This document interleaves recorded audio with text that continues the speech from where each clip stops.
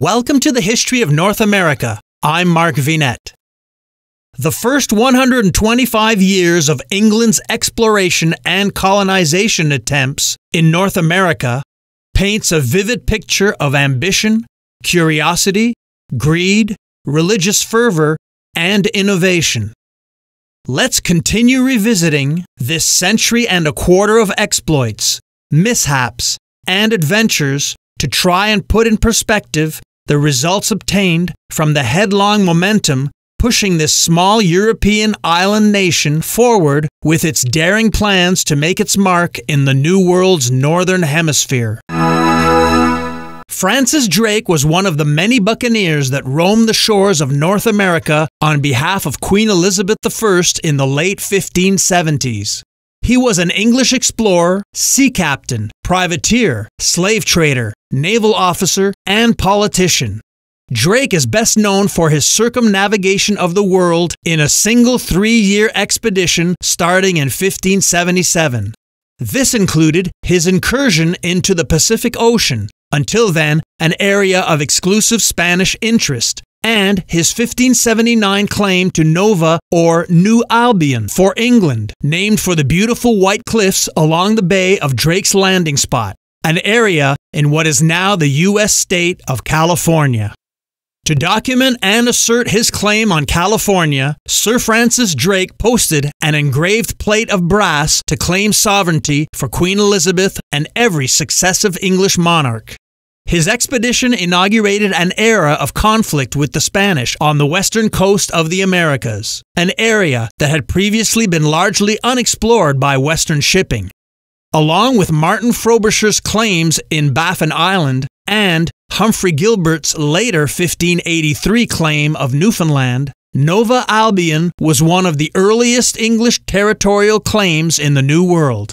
These North American claims were eventually followed by settlement of the Roanoke colony in 1584 and Jamestown in 1607.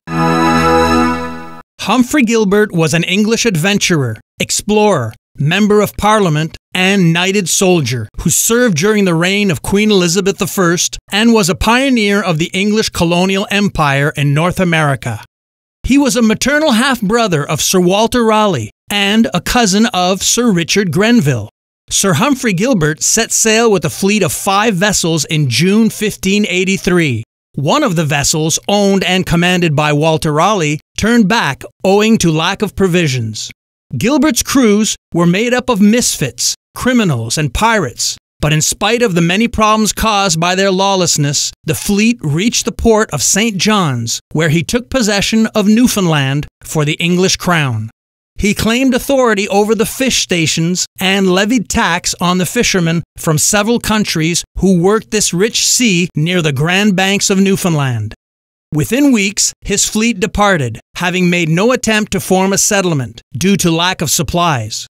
During the return voyage, his ship had sight of a sea monster, most probably a giant squid. Nearing the Azores, after ordering a controversial change of course for the fleet, the vessels encountered high waves of heavy seas.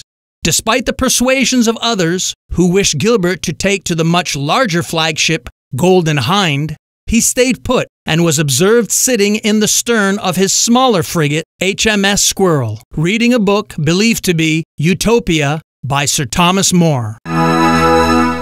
Elizabethan England began sending expeditions to coastal North America in the hopes of discovering wealth and riches or taking possession of the treasure accumulated and transported by Spain. Following Sir Humphrey Gilbert's tragic death in 1583, Queen Elizabeth divided his land charter between his brother Adrian Gilbert and his half brother Sir Walter Raleigh. Adrian's charter gave him the patent on Newfoundland and all points north, where geographers expected to eventually find a long sought northwest passage to Asia. Raleigh was awarded the lands to the south, though much of it was already claimed by Spain. Raleigh's 1584 charter specified that he needed to establish a colony by 1591 or lose his right to colonization. He was to explore and exploit the territory and was expected to establish a base from which to send privateers on raids against the treasure fleets of Spain. Despite the broad powers granted to Raleigh, he was forbidden to leave the Queen's side. Instead of personally leading voyages to the Americas, he delegated the missions to his associates and oversaw operations from London of the first voyage to Virginia in 1584. The Sea Dogs was an informal name bestowed upon English privateers who were authorized by Queen Elizabeth I to raid England's enemies, even during times of peace. Carrying letters of marque issued by the English crown, the Sea Dogs frequently attacked both enemy shipping at sea and enemy outposts on land, especially targeting the Spanish in North American waters and ports. One of these celebrated sea dogs was seasoned soldier Richard Grenville, the eldest son and heir of Sir Roger Grenville, who was captain of King Henry VIII's warship Mary Rose when it sank in Portsmouth Harbour in 1545. Sir Walter Raleigh, Queen Elizabeth's Knight Lord and Governor of Virginia, planned a first colony and military operation focused on the exploration and evaluation of natural resources of the New World land granted him by his sovereign. A fleet consisting of seven ships departed Plymouth, England in April 1585. When Elizabeth refused to let Raleigh make the voyage to Roanoke Island, his cousin, Sir Richard Grenville, took his place. Arriving in late June, Grenville and his men explored a great deal of territory seeking a site for the colony. The Native Americans in the region observed the Europeans and soon made contact with the English and established friendly relations. The English spoke highly of the tribe's hospitality and the strategic location of the nearby island of Roanoke. The expedition's reports described the region as a pleasant and bountiful land like the Garden of Eden, the tribe that controlled the area met with Grenville and Governor Ralph Lane to provide land for the English settlement on Roanoke Island. Both sides agreed that the island was strategically located for access to the ocean and to avoid detection from Spanish patrols after plundering Spanish ships. Lane began construction of a fort on the north side of the island. By late summer, a fort was built on Roanoke, and late August, Grenville left 107 men with Governor Lane and sailed for England. Days later, in Bermuda, Grenville raided a large Spanish galleon which had become separated from the rest of its fleet. The merchant ship, which Grenville took back to England as a prize, was loaded with enough treasure to make the entire Roanoke expedition profitable, spurring excitement in Queen Elizabeth's court about Raleigh's colonization efforts.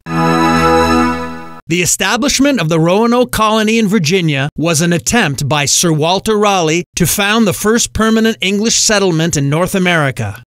The English settlement was built on Roanoke Island in what is now coastal North Carolina. The mysterious disappearance of the colonists remains an enigma to this day. The Anglo Spanish War was an intermittent conflict that began in 1585 between the kingdoms of Spain and England.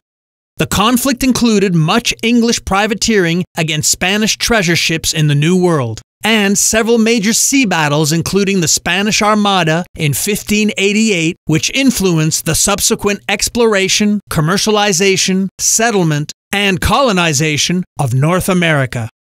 The Anglo Spanish War was brought to an end with the Treaty of London in 1604, negotiated between King Philip III of Spain and the new King of England, James I. In the treaty, England and Spain agreed to cease their military interventions in Europe, and the English ended their high seas privateering in the New World. Next time, we continue sailing with England across the ocean to North America's Atlantic coast. I'm Mark Vinet, and I hope you're enjoying the ride.